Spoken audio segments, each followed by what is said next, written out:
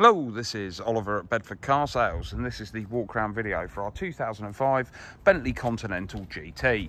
So we've just taken this in part exchange recently against a Porsche Cayenne Turbo. Um, nice looking car overall, um, colours very nice, bearing in mind the age of the car, she is 19 years old. Um, overall very tidy indeed. Um, little mark there on the back bumper if you're being hypercritical, but other than that she's very tidy. Uh, 6 litre twin turbo W12, uh, producing 550 brake horsepower. These are no slouch. W12 private number plate on the car as well. Very nice indeed. Got blacked out grille. Overall, she does not look her age. Um, she's very tidy, very tidy indeed. So let's open her up. So keyless entry system on this one works. Let me just show you. Just press the button and the car locks. You see that red LED flashing. Pull on the handle and she unlocks. Um, grey leather inside. Bentley stitched in there. Absolutely lovely. Bear in mind the age of the car. Overall, leather condition's pretty good. Bit of wear on the seat bolster just from people getting in and out, but nothing unusual. Into the rear of the car. Seat condition again. Overall, very nice indeed. Very nice indeed. Beautiful quilted leather as well a very, very nice looking car, to be quite honest with you. Very nice indeed. So, these are very well spec'd for the age of the car. Let's just pop this seat back. A bit far away from me now. So you've got electric memory seating, obviously, down here, as you would expect. Adjustable leg support on the front, so if you're a bit longer in the leg, no problem at all. You can stretch that out just to give you some extra support. Um, there is three memory settings on here. Um, so overall, um, lovely though. That quilted leather carries on through the door card as well. It's um, criminal, really, the value for money these are now, to be honest with you. Because I say, it's um, not big money at all. It's used Mondeo money um, for effectively what was once upon a time pretty much classed as the ultimate GT car because performance wise nothing else touched it. Oodles of piano black and leather running through. Absolutely lovely, really nice indeed. All the usual toys, cruise control, auto lights, also wipers. Um, fantastic. So keyless start.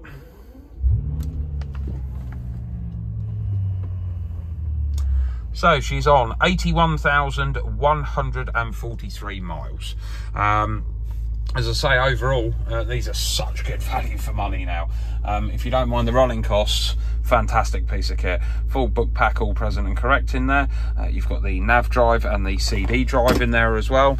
Um, other things to note within this car, heated seats, obviously, as you would expect.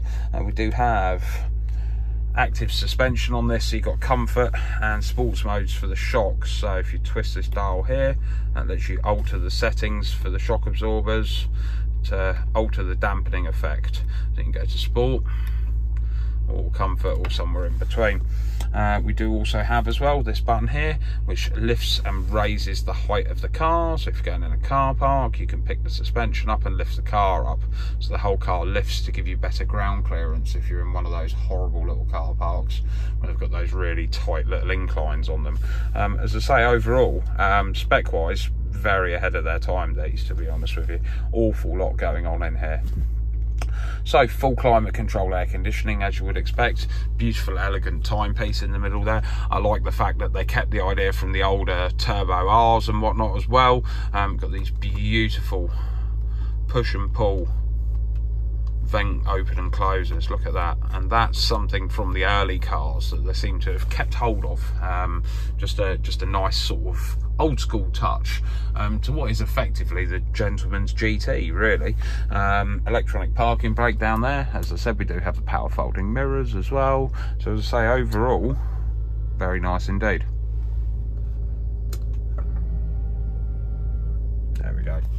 um, lovely, to be honest with you. Stereo system is of good quality.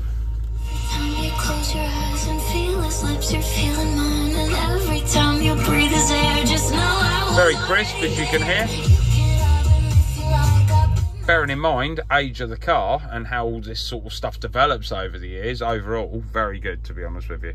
Um, so, um, sat nav, as you can see That's telephone system, so telephone not available because obviously it's a it's not a Bluetooth system on this. She's too old, I'm afraid. Uh, traffic settings tallying within the uh, within the maps once you're in, and then you've got tyre pressure information and what the vehicle settings, and you've even got handbook issue part here. So you have to load the CD in though for the handbook. There is a CD available for these that keeps all that information. Um, but as I say overall um, bearing in mind the age and mileage of the car she's a she's a lovely old thing to be honest with you. Lovely old thing. So telephone module tucked away inside there. Original telephone cradle as well inside the armrest. The armrest don't lift up and underneath there is your cup holders tucked away in there and old school as well nice cigar lighter in there and an ashtray. Takes a bit of a push to get them in. There we go. And these are height adjustable these armrests as well on a ratchet system. So let's open the boot show you in there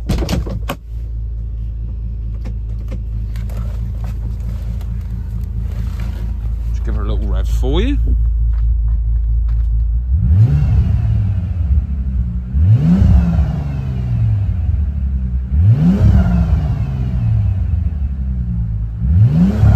Listen to that. What a fantastic sounding machine. God, I do love this W12. Gorgeous engine. In the boot, see boot space is cavernous absolutely huge. Um, it's always nice to see as well cars which have original boot liners in them because that shows care. So I like to see stuff like that. If we keep going deeper and deeper below all of this. You have a space saver spare wheel in there with the toolkit as well. But as I say original boot line is always a plus I think always shows a good element of care to a car. Um, overall, lovely condition as you can see. Does have a little chute at the back there if you've got something bigger to get in. Warning triangle stowed here at the back. Overall, lovely. Do have an active spoiler on these as well, so let's pop the spoiler up just to show you that. So the spoiler does come up at speed, but you can bring it up at the touch of a button, like so. They're prettier with the spoiler down though, to be honest with you. So that bit of extra downforce. Wheels overall, nice condition. Couple of marks if I've been hypercritical, but it's got the split rims uh, with the colour coded grey on the inside. The chrome finish, very nice.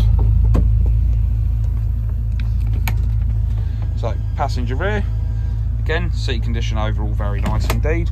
Um, I say it's it's a lovely looking thing, lovely looking thing the Bentley production tag there in the side. Bonnet pillars here, massive, great big billet handle, superb. Everything's made of such good quality and requires a bit of effort. Everything's very solid. So, under the bonnet, the B pops up and you have to lift the B to open the bonnet like so. There we go, look at that.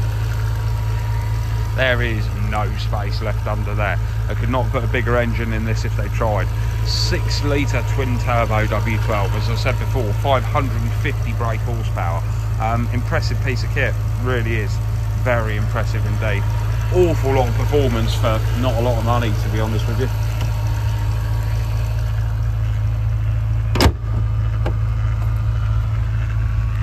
So, for the new owner, this absolutely gorgeous looking Continental GT will come with a 12 month MOT and also come with a 12 month premium breakdown cover package and a 6 month warranty as well. And we're one of the only dealers out there to back their cars. So well at point of sale um, we do also offer for our customers as well free delivery within 125 miles. So if you can't come to us we can come to you. So that's the end of my walk around video on our 2005 Bentley Continental GT. If you have any questions, anything at all, please do not hesitate to either give us a call, ping us over a message, or send us an email. We'll do our very best to help you. Thank you very much. I hope you have a lovely day.